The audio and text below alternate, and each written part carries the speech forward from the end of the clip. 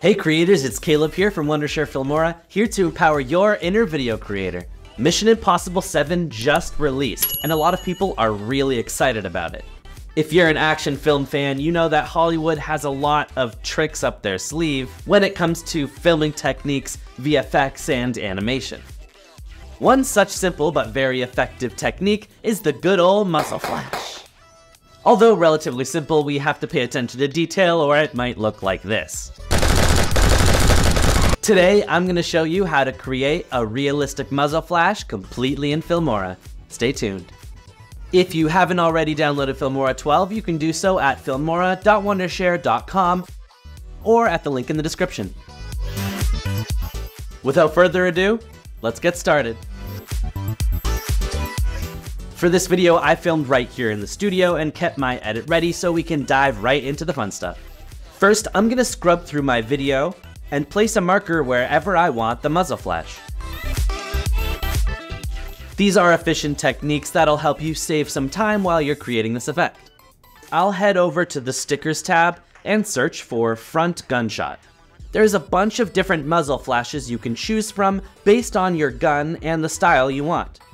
For my video, I'm gonna choose front gunshot 01. Drag and drop on the timeline in the right place with the help of your markers. It should snap to the markers, helping you save some time. See? Efficiency? Techniques? Ah? Ah? Let's go to our video tab and carefully position and scale the muzzle flash to match our gun. And there you go, the muzzle flash is complete. Goodbye. Just kidding, let's learn how to take your video to the next level. Let's head over to the Effects tab and search Color Blur. Drag and drop onto our muzzle flash layer.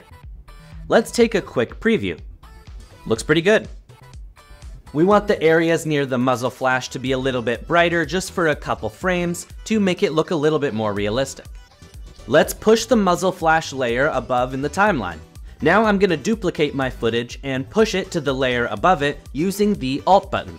I'm gonna go to the video tab and click on mask. Let's draw a mask around the areas I want to be brighter. Once I'm happy with the mask, I'm going to add a high blur amount. Let's go to the color tab and add warmth to the footage. Head back to the video tab and change the blend mode to screen.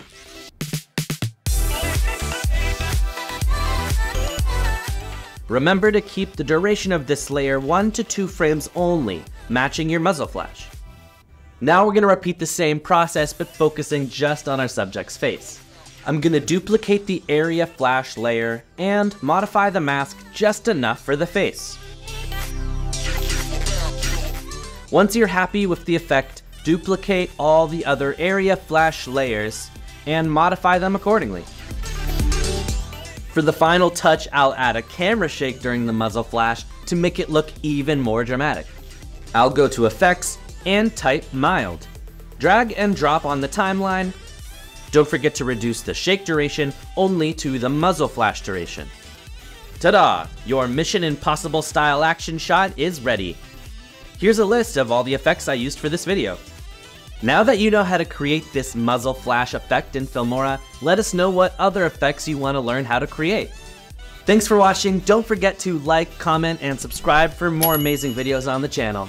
Keep creating, and I'll see you next time.